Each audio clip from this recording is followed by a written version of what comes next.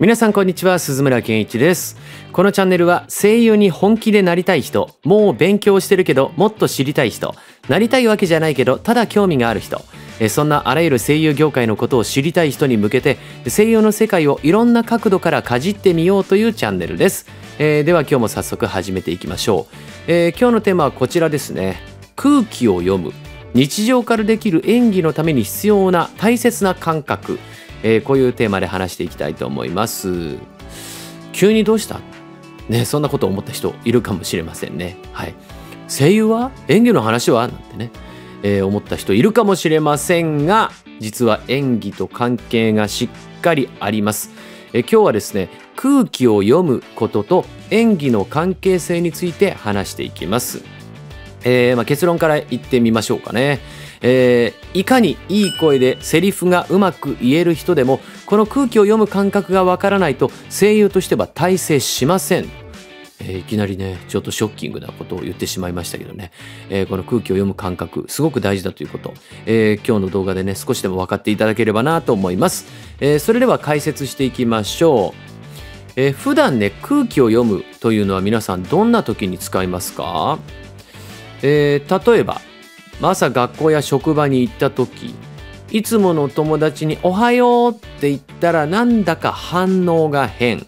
なんてことありますよね。あれ？具合悪いのかな？とかね。あれ？もしかして昨日私なんか変なこと言ったかな？なんてね想像してみたりしてこれあくまで想像しちゃったりしてるんですよね。でそうなったから「あの今日もいい天気だね」なんてね言葉で探りを入れたりなんかして、えーで結果あんまりいい反応が来なくて「あーじゃあ今日はどうやって接しようかな一日長いな」とか思ってみたりしてこんな感じで空気を読むということをやってると思いますよね。まあ、僕たちはですね言葉を超えて心が反応しているっていうことがこれでわかりますよね。えー言葉全く発さずともね相手がどんな感情なのかなんとなく分かったりする。はいえーこれねスピリチュアルなものでも何でもなくてとても生物的な行動なんですね。あのスピリチュアルで私はなあの人の波動が見えるタイプみたいなそういうことではないんですよね、えー例えばですねうちの犬も何か悪さをしたら僕が何か言う前に空気を読んでお腹出してね反省したりするんですよね。すいませんでした。つい出来心でおやつを食べてしまいました。これも生物的本能の動きなんですけどねなんつってね。お腹出して反省したりしますよね、えーまあ、こんな風にですね僕たち日常の中で、えー誰かの感じあ感情を感じ取る力っていうのがあるんですよね。これ非常に生物的なんです、えー空気を読むというのは誰でも起きている当たり前のことなんですよね。ただですねその当たり前であるがゆえにそれに気づけるかどうかということがお芝居の世界では大事になってきます。え例えばこんな感じ。ダメじゃないかって怒られるとしますよね。えーそれ誰に言われた？親に言われました？とか友達に言われました？とか、えーそれから心当たりああります？それ言われたことに対して。でそれってすごいなんか心当たりあって自分も悪いかな悪いかなと思ってみたりするケースもあるしえなんで怒られてるか分かんないよ理不尽だなとかって思ってたりする可能性ありますよね。えーこれ今言われた場所どこでしょう？周りに人がいたりしますか？誰もいなかったりしますか、えーそれからダメじゃないかってね怒られる前に部屋に入ってガチャ呼び出されてガチャって言ったらあこれダメじゃないかって言われるかも今日怒られるかもと感じ取ってたりする、まあ、さっきの犬と一緒だったりしますよね。それからダメじゃないかって怒られた結果しょんぼりするかもしれませんし何だったらいやそんなの理不尽です。逆ギレするかもしれません、えーそれからさっきね言ってた誰かに見られてるかもしれない。怒られた瞬間誰かに見られてたら嫌だな恥ずかしいななんてことが起きてたりしますよね。このダメじゃないかって言われてしまうこの一言だけで実はいろんなことを感じちゃうんですよね人間って。しかもですねそれは自分一人の感情ではなく周りの反応が気になったりして、えー状況に心が動いてるってことが分かりますよね。自分の心の中でどうこうしてるんじゃないです。世界とつながってて周りで何か起きたことに対してやっぱり心が反応してるってことが分かりますよね。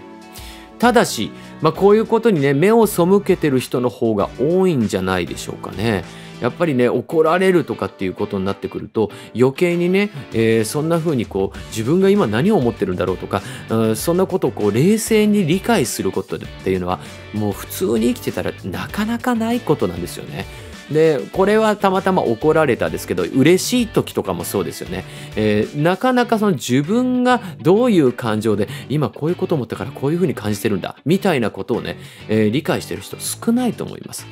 えーまあ、そんな心の動きがね当たり前すぎて気がつかなかったりするそれが普通だと思いますそれが人間だと思いますでもですね表現の仕事を志すなら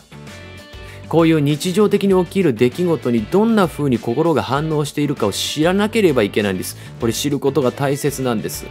えーさっき言ったように怒られた時にこういう風に感じてるなとかあー私気になっちゃうの恥ずかしいと思ってんだとか、まあ、そういう風に分析できたりですねさらにそれを演技として、えーこのシーンを再現できるようになることそれが演技をやる人間にの目標だったりするんですよね。はいえーだからこそどれだけいい声でも滑舌が良くてもこの感性鈍ければ売れる声優にはなれないんですよね。そういうことに敏感じゃなきゃいけないということなんですね。えーじゃあですね、滑舌別に良くなくていいんだ敏感だもん私僕とかっていうわけではありません。えーフィジカルなトレーニングっていうのも必要で、やっぱりそういうメンタリティの部分と、えーフィジカルの部分っていうのね、両方兼ね備えなければ売れる声優にはなれません。はい。えーまずですねそういう心が反応してるんだ。自分こんなこと感じてるんだとかっていうことを、えー気づけるかどうか。そこに気づくことがとても大事なんですよね、えーそしてその空気を読む力を具体的にね演技に生かしたいとみんな想像しましたよね。自分で感じたことをじゃあこれ演技に使えるんだ。そんなことを想像した人いると思います。まあ、その方法はですね、反応した心の状態っていうのを、えーどう再現してあげるか、これアウトプットしてあげるっていうこと、具体的に演技に変換するやり方というのがあります。あるんですけど、それに関してはまた別の動画でね、えーちょっとじっくり解説したいなと思いますから今日はこの話は一回置いておきます。はいまあ、これね演技の根幹に当たるものなんでしっかり伝わるようにこれ頑張っていきたいと思いますので、えーいずれその動画が上がった時楽しみにしててください。さて、えー今回はですねこの心の反応自分がどんな風にこの世界に対して反応しているのか、えー人に言われたことだったり、えーこの世界で起きたことだったりそういうものに自分の心はどう反応してるかそれを理解することでよりレベルアップする力っていうのをね紹介してみようかなと思います、えーそれはですね台本を読み解く力なんですね、えー台本について少し話していきましょう、えー台本っていうのはですねまあ演技には台本がねありますよね。まああの即興劇とかあるんですけどね。あ僕あの即興劇もプロデュースしてますんでよろしければよろしくお願いします。アドリブってやつやってます。お願いします。えーさて戻りますが 演技には台本があります。で台本にはね、えー皆さんもご存知だと思いますけどセリフが書かれているんですよね。でだからねこれ書かれているセリフを順番に読んでいけばなんとなく成立しちゃうんですよね。なんとなくやっちゃえば。ね、えー一応成立しますよね。えー皆さんね小学生とか幼稚園の時にね、えー学芸会とかそういうのでちょっとこうセリフがあって、えーやったりしませんでした。僕は桃太郎お供になってくれとかつって。きびだんごを食べたらお供になってくれるかい猿くん。はいなります。みたいな。やったことあると思いますけどなんとなく、えー舞台になったり物語にはなるんですよね。成立はしちゃいます。でもそれではいい演技にはならないんだろうなってことを皆さん感じますよねそりゃそうなんですよねあの台本順番に読むだけならもう誰でもできてしまいますからそのお遊戯会とか学芸会みたいな人たちみんな名優になっちゃいますからねそこには確実に、えーちゃんと良い演技にしなければ、えーお金をもらえる役者にはなれないということなんですよね。えーちょっと台本がここにあります。はい、これちょっと見てみましょう。見えるかな、えーこんな感じですね。はい。えー会社受付。受付には山本が立っている。そこに鈴木が客として入ってくる。えーようこそおいでくださいました。杉様です。これずらーっと書いてます。ちょっと時間あるときね、一回あの一時停止とかして読んでいただければと思います。えーこんな感じの台本ですね。えー先ほどね、見ていただきました。こんな台本があります。えーまあ、台本ね初めて見たって人もいるかもしれません、えー、僕ねこの業界に入ってまあ、だいぶ昔ですけど高校ぐらいの時ですけどね台本って言われるものを初めて読んだんですよ。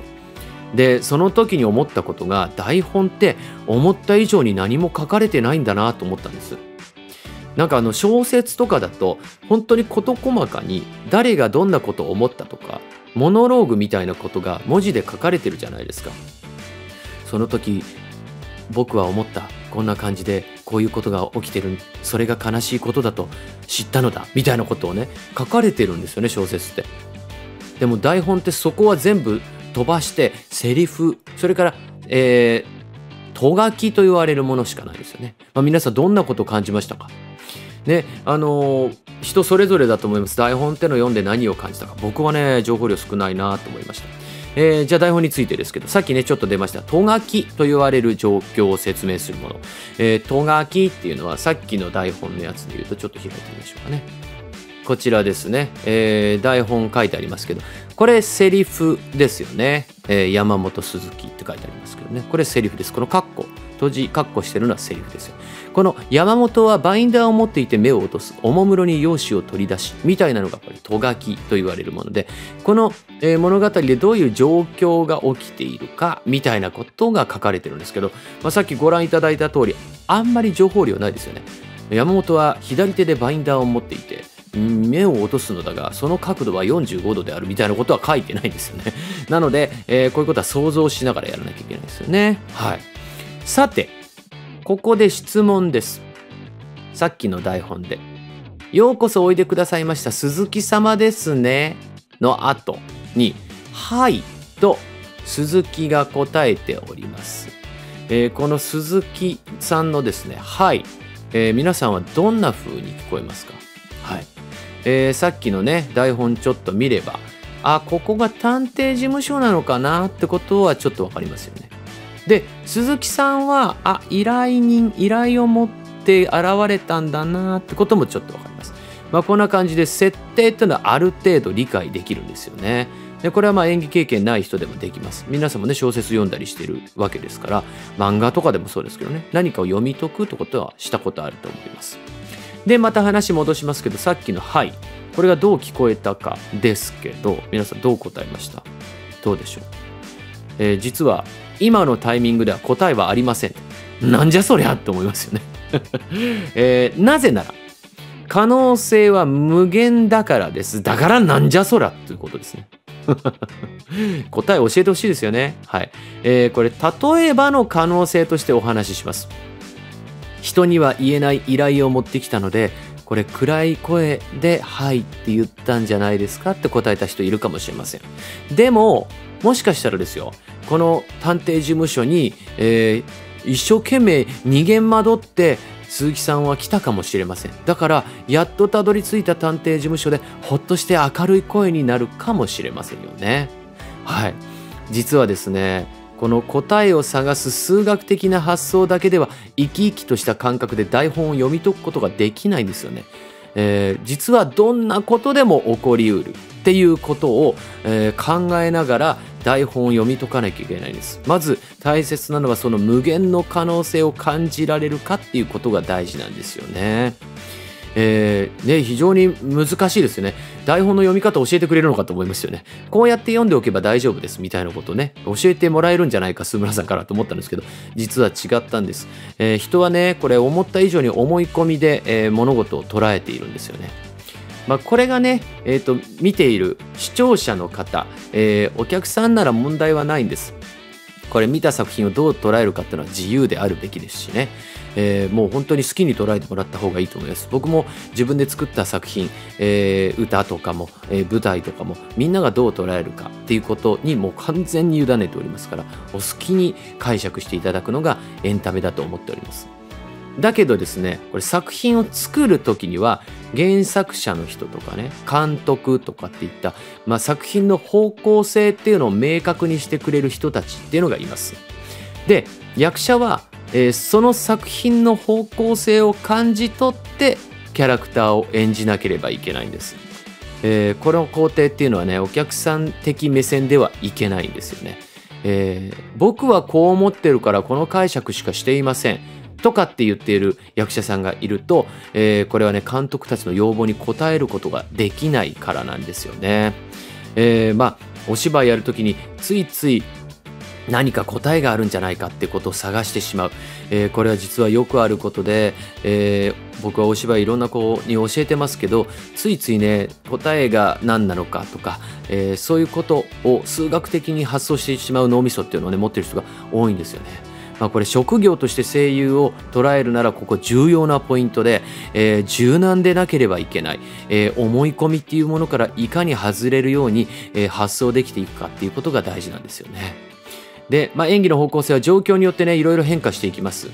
えー一緒に収録していた役者さんの演技によっても変化しますさっきのね、えー鈴木さんと、えーそれから山本さん鈴木さんと山本さん、えをどんな役者さんが演じて、えそして鈴木さんを演じるなら山本さんがどんな演技をしてくるかによって確実に変化していきますよね。えーそれからキャラクターのいる場所あそこ探偵事務所ですけどその探偵事務所がどういう場所なのとかすっごく広い探偵事務所なの？もしかしたらめちゃくちゃ狭い探偵事務所なの？によっていろんなあ声の出し方とかも変わっていきますよね。それから、えーまあ、アニメもそうですし映画とかもそうですけど絵の質感みたいなものもありますよね、えーその質感っていうのがものすごくこうえーパキッとしたものなのか、うんそれとも、えードキュメンタリータッチの画質があえて荒い作品なのかとかっていうことによっても、えー方向性は変わってきたりしますよね、えーそれによってお芝居の質は変わります。それから当然ですけどシリアスな作品なの？これコメディなの？とかっていうこと、えーただシリアスな作品だから、えー、とずっとシリアスにお芝居やってればいいかっていうとそうではなくものすごく笑っているっていうシーンがあるからこそ悲しく見えたりとか。コメディでもそうですよね、えー、とすごく真面目にやればやるほど笑えるコメディみたいなものも存在します。えーそれから今の流行に合ってるかなんてのもね関係してくる可能性あるんですよねトレンドみたいなものがあって、えーお芝居声優のお芝居っていうのも実は僕がこの業界に入ってきた時よりも、えー今の方がお芝居っていうのはできるだけ、えー自然なものにしようみたいな空気感はすごくありますよね。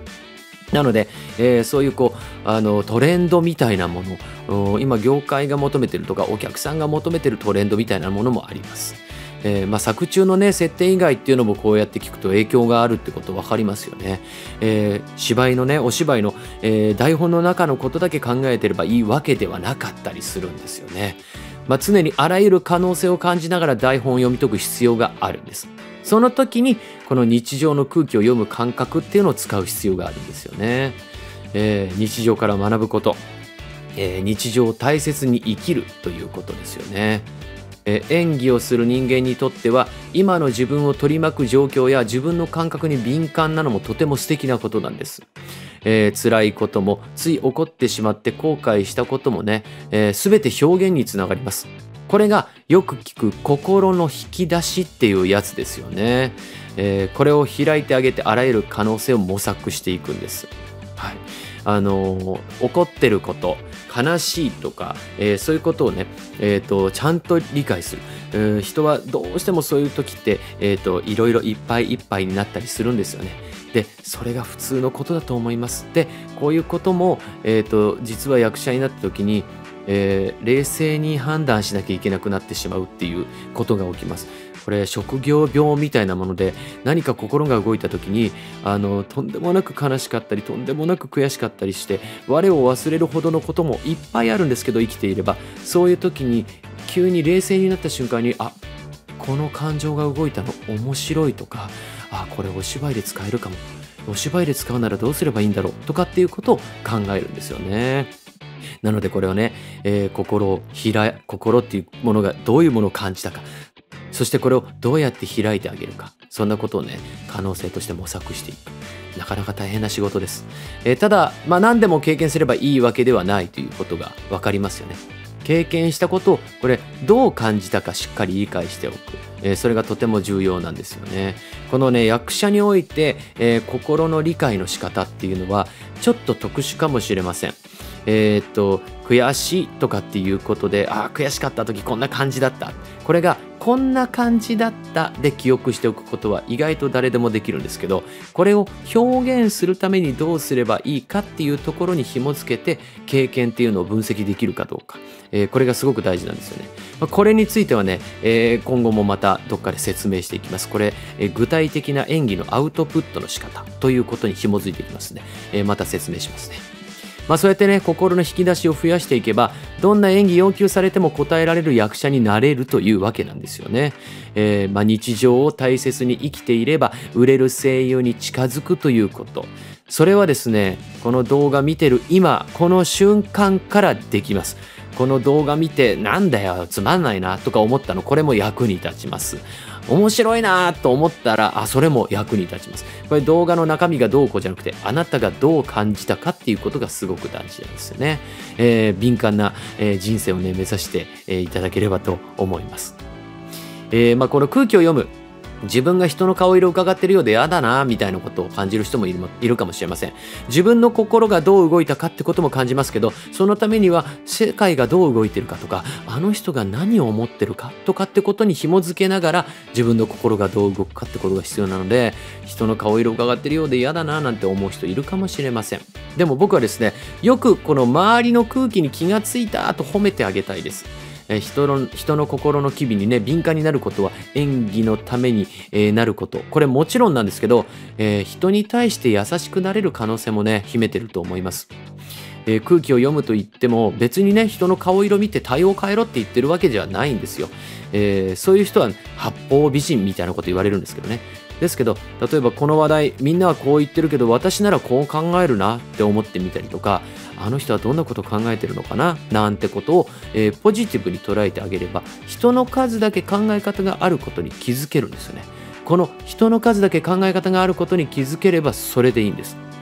でそれに気づけると自分の考え方だけではねたどり着けない思考っていうのを見つけたりとかそれから自分とは違う感覚に対して寛容になることができます。えっ、ー、と自分とは違うんだっていうことってやっぱりちょっと抵抗があったりしますよね人って。でもそれを俯瞰で見ることであ相手が何を思ってるかってこういうことか私には理解できないけどあの人はこういうふうに考えてるってことは理解できると。なるほど面白いなって思えるかもしれませんそうなるとねいろんなことが寛容になって自分とは違う人がこんなにいるんだってこと、えー、自分の考え方っていうのも、えー、認めてあげられるようになる、えー、相手も認められるし私は違う考えを持ってるんだ面白いななんてことをね認めてあげられるようになってちょっとねポジティブな気持ちにもなれる気が僕はしています。はい、えー、じゃあまとめにいきましょう。えー、いろんなことにね敏感になるので、えー、これ日々暮らしていくのなかなか大変なんですよこうやって、えー、心がどんな風に動いたかとか。そんなことをね分析しながら生きるのってめちゃくちゃ大変なんですよね。で、えこれね役者っていうのはでもこうやって自分と向き合う仕事なんです。え空気を読む感覚っていうのは自分の感じ方の可能性広げてくれるもので、えー、役者がね使える武器ってのは自分の体と心しかないんです。他に武器ないんです。後から加えられるのは衣装とか小道具っていうのはあるんですけど実はね自分の体と心これをどう使うかなんですよね。えー、キャラクターの心の動きにどれだけの可能性があってそれを演じることができるか、えー、その可能性の数が多いほど演技の幅っていうのは広がるんです、えー、そしてこれ予定調和ではない演技の可能性を見せることができた時そこがそれがあなたの最大のオリジナリティになるんです。お芝居の可能性っていうのを広げてあげる演技の可能性広げてあげることができればいいんです、えー、声にね特徴がないと声優になれないんですかっていう人多いんですけど特徴なくていいです。僕だってね、えー、本当に昔はよく声に特徴がないねって言われました。はい。特徴なくていいんです。誰にだってね絶対にある自分にしかない感性ってものがあるんです。でそれを見つけるために明日から空気を読むことに対して肯定的にね視界を広げてみていただきたいなと思います。是非ね楽しみながら行きましょう。人の顔色を伺うとかあと自分の感情がこうだからあダメなんだとかそういうことは思わなくて OK です、えー、相手がこんなこと思ってるんだ面白い。自分は今あ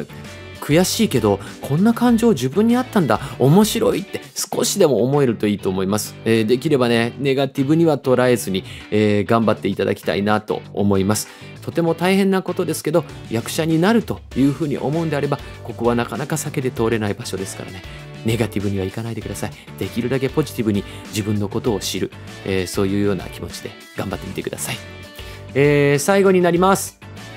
演技に絶対的答えはありません。だからね、僕の考え方全てではありません。えー、さっき言ったようにね、えっ、ー、と、こういうことがないと役者になれないって僕は言っちゃいました。要は、えっ、ー、と、いろんなことをね、感じられる日々、そういう日常から、え吸収していかなきゃいけないんだよっていうこと。えもしかしたら、この世界に、えー、いろんな人がいますから、いろんな指導者がいますから、そういうことはいらない。セリフをとにかく言えるようになれ。えー、音でやるんだっていうことをね、えー、言ってもらって、さらにそれがフィットするっていう人もいるかもしれません。はい。えー、僕はそれがフィットしなかったタイプなので、えー、今日のようなことを皆さんにお伝えしています。まあ、僕自身もね、まだいろいろなこと吸収しながら学び続け,、ま、続けてますから、そういうことにまた出会って、またあ自分にとって革命が起きるかもしれません。それはね、皆さんも一緒で、えー、これからたくさんの人からいろんなことを教わると思います。ぜひね、柔軟な頭で自分にとって何が必要か、これ見極めていただければと思います。よろしくお願いします。それではまたお会いしましょう。さようなら。